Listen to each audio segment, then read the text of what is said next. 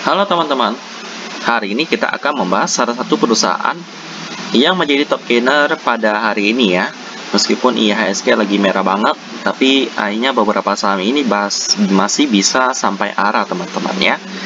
Ada satu saham yang baru IPO, yakni adalah Autopedia Sukses Restadi Tbk dengan kode emiten ASLC. Ya, ya selamat sudah IPO dan pada hari pertama ini mereka langsung arah teman-teman ya bisnis yang mereka tekuni tekuni ini sebenarnya cukup unik saya lihat. Karena saya baru kali ini melihat perusahaan IPO yang bergerak di bidang bisnis yang satu ini ya. Perusahaan yang satu ini juga bukan merupakan perusahaan yang baru pertama kali berbisnis ya mereka merupakan anak perusahaan dari salah satu perusahaan yang cukup terkenal yang bergerak di bidang logistik yakni adalah ASSA ya. Ini adalah anak perusahaannya yakni adalah ASLC bisnis yang mereka tekuni ini juga berhubungan dengan kendaraan.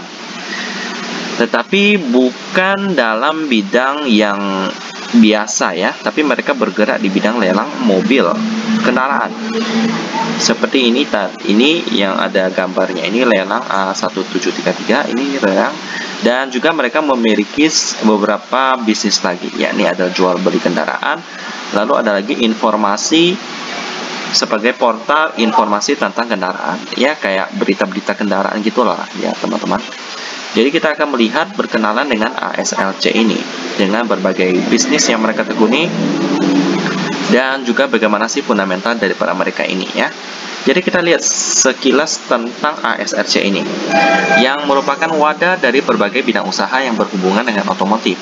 Mulai dari lelang mobil dan motor yang tadi kita bahas dan juga ada lagi jual beli mobil online dan penyedia data harga mobil dan motor ya. Jadi untuk sekarang masih cuma tiga lini bisnis yang dijalankan oleh ASRC ini ya. Ke depannya katanya mereka juga akan mengembangkan bisnis lain yang tentunya mungkin tidak akan berhubungan jauh dengan kendaraan ya.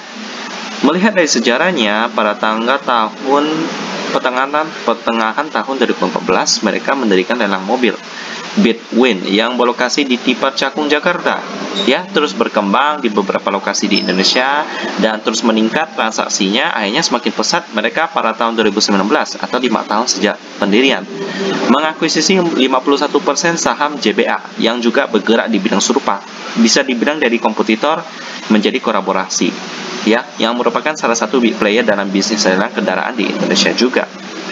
Melalui akuisisi ini tersebut Bitwin melebur dengan JBA menjadi JBA Indonesia. Ya, lalu tahun 2020 berkembang pesat dengan memiliki average buyer sampai 30.000 orang per tahun loh. Ini kayaknya transaksi 30 transaksi. Oh, bukan bayarnya. Bayarnya 30.000 per tahun. Bayangkan teman-teman dengan auction success rate di atas 90% dengan market share-nya sebesar hampir setengah yakni 40% ya. Dan juga bukan hanya tentang pelelangan juga, mereka juga memiliki layanan jual beli mobil online to offline di bawah brand Caroline.in.id. Ya, Caroline. Ini mirip karakter anim uh, karakter kartun yang uh, diproduksi ya, ya Caroline. Tapi ini karena ada CAR atau car-nya, jadi dipakai dalam website ini. Melalui layanan ini, pelanggan dapat memberi atau menjual kendaraan dengan lebih mudah dan aman. Semua kendaraan yang diperjualbelikan melalui proses inspeksi kendaraan, penilaian harga yang akurat, dan dilengkapi dengan garansi kendaraan. Lalu yang terakhir, yakni adalah Cartalog, ya. Jadi ada lagi CAR-nya ya. Jadi lumayan kreatif tim daripada ASLC ini yaitu Cartalog, situs penyedia informasi harga kendaraan satu-satunya di Indonesia. Wow, mantap. Situs ini dibekali dengan teknologi artificial intelligence yang memberikan informasi secara akurat dan terpercaya ya. Dan inilah beberapa lini bisnis mereka yakni JBA Indonesia. Lalu ada lagi caroline.id. Lalu yang terakhir ada Cartalog. Katanya satu-satunya sih penyedia informasi harga mobil. Ya, wow ini bagus banget sih. Ini nanti kita boleh cobalah kita coba akses katalog ini. Katalog ya jadi begitulah teman-teman. Tentang ASLC perusahaan yang baru IPO anak perusahaan daripada ASSA dan sekarang kita akan melihat fundamentalnya di ET Business. Pertama kita lihat dulu pemegang sahamnya ya, yang di atas 10% cuma satu dengan porsi kepemilikan masyarakat sebesar 20% dan PT Adi Sarana. Coba kita lihat ya. PT Adi Sarana ya. Armada TBK. Oke. Nah, lalu kita masuk ke news. Listing melantai melesat ambles. Antri IPO Capex Capex Autopedia tren positif. Naik pendapatan. Oke nggak ada masalah sih. Jadi untuk pemegang sahamnya ya masih aman-aman aja. Lalu kita lihat fundamentalnya di RT bisnis. Di sini kita melihat dengan operating profitnya lebih besar daripada net profit which is nice dengan valuasi pernya masih belum update ya. Tapi kalau kita lihat dari net profitnya 8M dengan market capnya 4 triliun rupiah sebenarnya ini juga udah sangat mahal banget teman-teman ya. Ini kalau kita hitung-hitung 4 triliun bagi 8M itu kita dapat sekitar 500 ya.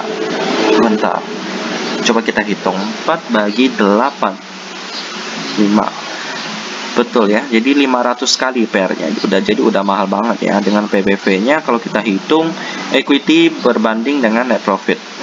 Equity-nya kita hitunglah 160M gitu lah ya sama 8M jadi sekitar PBV-nya udah eh bukan.